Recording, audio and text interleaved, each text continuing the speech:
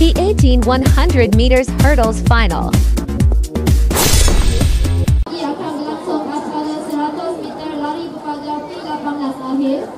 yang pertama 1539 Nur Aisyah bin Najiha binti Muhammad Azlan dari Kananda. Lorong yang kedua 0452 Zinjin Chow dari Taman Desa. Lorong yang ketiga 0461 Low Xing Zui dari Taman Desa. Lorong yang keempat